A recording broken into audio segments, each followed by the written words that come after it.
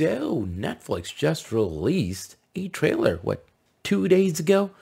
Whew, with a lot of movies in there. Oh my goodness, full slate of 2023. This should be really good. We're going to keep it short. Let's dive right into this. 2022, all right. This is truly delightful. Oh yeah. That was all right. This one was all right, okay. Here we go. Coming for you. Oh, All right, guys, we got work to do.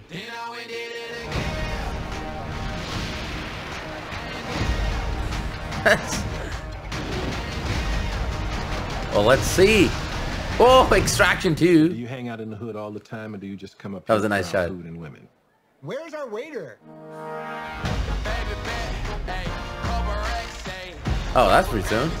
Whoa! each other Ashton everything, Kutcher. Haven't seen him in a while.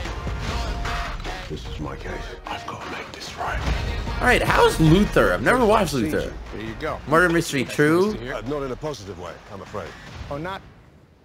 Okay. Okay. That needed a second one? Be to keep her safe. All right. Oh, now that's I'm excited about. Oh, what?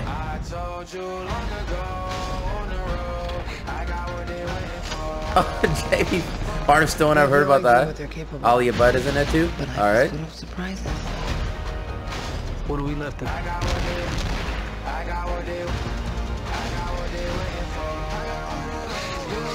Oh.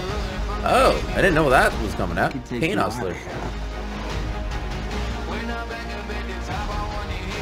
Don't Holy improvise. smoke. How much money did Netflix spend? No one. Seriously. Oh, okay.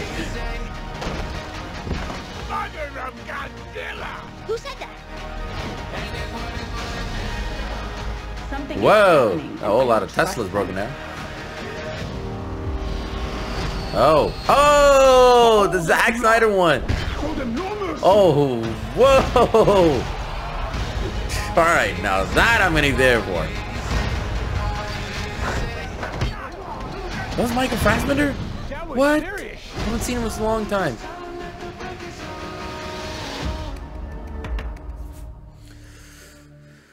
Alrighty then. That was uh, that was good. That was some really really good stuff. Some some good extra sauce on too. Some really good tasty sauce. That was that kind of dish. That was well served. You know what I mean. That was good. Uh, that was a whole lot of stuff going on in there. Obviously a lot of different movies. Yeah, this should be interesting. Again, my issue sometimes with Netflix movies are that the story a lot of times like the story does not hold up like their action and the production and everything you, you feel like man that's so good and then it's a story that really doesn't hit it. And i i really hope to start turning things around because same thing with Extraction. It was it's a brilliant action movie but story wise it could have been so much more. And when you watch it you're like yeah this could have been even better than what it is if it just added a bit more to the story. Same thing with Gray Man, right? Like the cast was huge, but then the story was eh, it was okay. So I really hope some of these films really bring in bring that bring that oomph. But other than that, like production, you can tell Netflix be spending money. They're throwing money at everything. Look at the actors, man. They got between all of these films. Huge. I mean, just Rebel Moon, Zack Snyder movie. Imagine the money that was put into that. And then now add all the other ones, you know, on top. It's looking good. So, yeah, that's my take on this one. There was a lot of stuff in there. Which one are you excited about? Or which top three would be in the list from here? Leave a comment below. Let me know. And other than that, thanks so much for watching. Thanks for all the support. I'll see you all soon. Until then, ta-da, AK out.